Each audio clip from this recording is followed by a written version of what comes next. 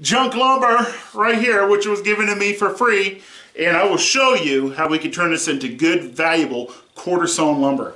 Okay guys, first of all, it's about wood selection and how we can get the most for our money because we're going to get some lumber pretty cheap at the hardware store, whether it be Menards or Lowe's or Home Depot or wherever it is you're going. You can even go to a normal standard lumber lumber mill. So what you need to look at is the edge grain of your board.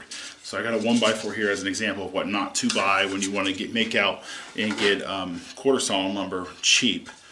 So we don't want to get a thin wood, narrow wood this way necessarily. So we'll take a look at this grain and you can kind of see the sides here. How we come down like this. Okay, so that's not going to make really good quarter sawn lumber because this is not quarter sawn lumber. This is flat sawn lumber or plain sawn lumber, depending on how you uh, look at it. You're going to want to look at the wide lumber, 1 by 12s, 2 by 12s, or something along those lines. And you want to get the part out of the middle. So I got a, one, a 2 by 8 over here that was actually given to me from Menards. And being 2021, the beginning of the year, lumber is gold. Okay, so they gave me this 2x8 because, well, right here, see the structure crack right there. So I got this for free, and it's the prime example of what you want for cheap quarter sawn lumber. So I got this for free, and uh, I'll, I'll tell you the value of this board. I never calculated and what we actually get out of this board. I'll calculate it, I'll put it on the screen of what the value of this is in quarter sawn versus what that would have been if it didn't have the crack and I had to pay for it. Okay, so this is why this was given to me for free. So we'll actually just take this board, we could cut it, or we could put our feet down here like this, and I can see break it off. So, this is the trick right here, right here.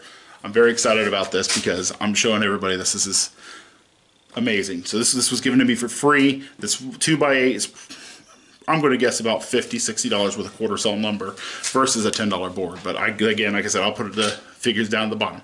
But anyways, so this was given to me. I wouldn't have bought a 2x8. I would have bought a 2x12 for this scenario. But if you look at this, this is the center of the tree. That's what you're looking for is the center of the tree or something really, really close. So if you can get a 2x12 the center of the tree for whatever 2x12 is here with all this inflation going on, probably $700. And uh, we need to get looking for this. And what we're going to do is we're going to cut this a certain way to turn this into quarter sawn lumber. Come with me and I'll show you how to do it. Okay, so I, um, I cut off the broken part here so I have something safe to work with.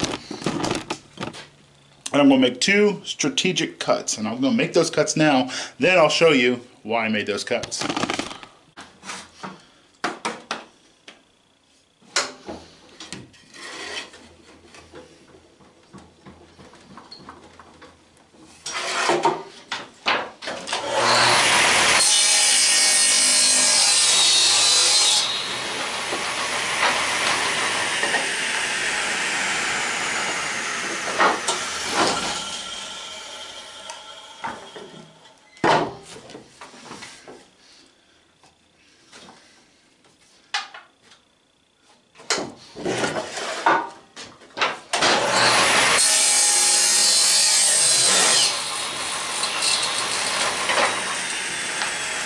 Okay, now imagine this was a 2 by 12 You would have two almost uh, 2 by 5s if it's quarter sawn lumber. So now we can look at this. One more close up here and I'll show you exactly what I did. So I cut this center part out right here. This little guy right here is the garbage that's going to make your board warp. So remove that what we're left with is good quarter sawn uh, pine lumber. So I got rid of a, a one a one one inch wide piece sliver down the center of this whole board, and I got free, almost free. Actually, I did get free quarter sawn lumber because Menards gave it to me, so that's kind of cool. Um, now we're ready to build some furniture with this. Right here, we can plane this down, mill it. I'm going to turn this into a good quality sign at footsteps for footstepsandpaths.com, but whatever you guys want to do with that, build some furniture or maybe some deck furniture, patio furniture, stand it up real nice, put some shellac on it, be really, really good stuff.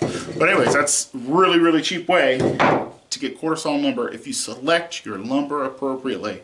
You can go to your hardware store. You do the same thing with oak or mahogany or cherry lumber. You can go get plain sawn from the sawmill and turn it into quarter sawn lumber like that with selective choosing of how to choose your lumber.